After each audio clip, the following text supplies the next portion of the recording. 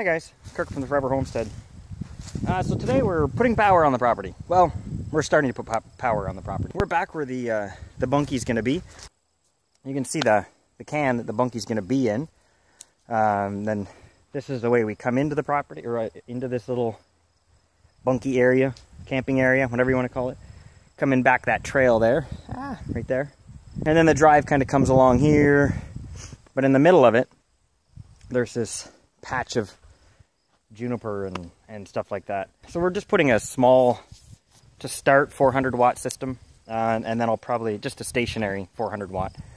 And then I'm probably going to add uh, like a 200 watt tracking, depending on, on the power that we find that we're using in here.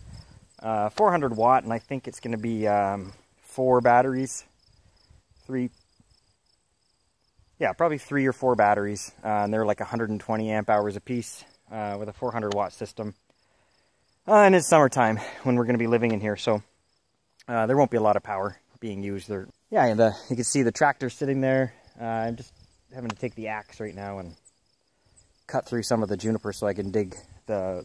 I'm, I'm using some six by sixes for the the ground mount system, which I'll show you in a, a few minutes. But uh, for now, I'm just gonna get digging and. So basically, as we're looking right now, um, the, the, panels will be facing right back towards us because south is, is this way. Uh, I'll do a little bit more of an accurate measurement than than uh, my Boy Scout ness right now. but um, yeah, I'll, I'll uh, give you an update in a little, little, little while. Uh, quick update. So I've got the two. Uh, see. Got the two uprights in. Uh, one there, one there, well, it's hard to do this. I'm backwards on the camera. Uh, so they're in, leveled. Uh, they're facing facing south. Um, and if you on the edges here, so there's there's three rails that are going to go across from one point to the other, uh, and those are cut on 45 degree angles. And uh, the reason they're 45 is where we are. Our latitude is is pretty close uh, to 45 degrees. We're 44.8 or something like that.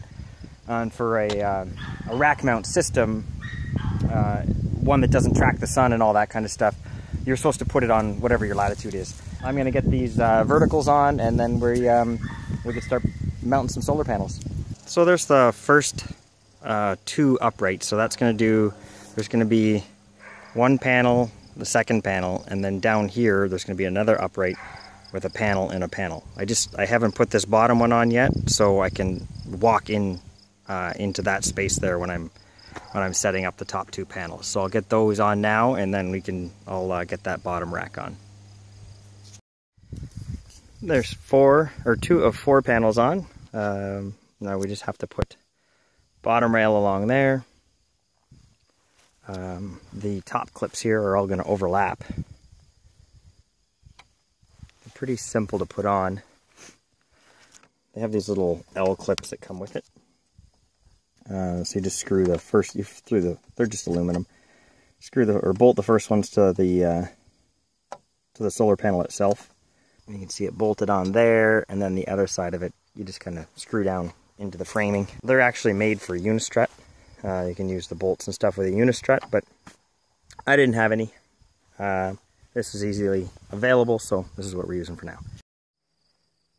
All right, we got all four panels on. Um, you can see the, uh, the screws go down through the center on the middle one. And then top and bottom, they just have a rail of their own. Uh, so that's, that's 400 watts in panels.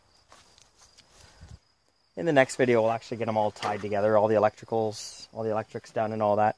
Um, the back here you can kind of see uh, each one has its own positive and negative so we're gonna I'm just still trying to decide what to do. I think I'm gonna build a shelf underneath uh, between each of these supports. So there's one here uh, and then the same thing on this side. I think I'm gonna build a bit of a support between the two of them and then this can until we have a, a permanent bunkie I think then this can house the um, the batteries I'll build like a waterproof box, shed, something like that out of some scrap material.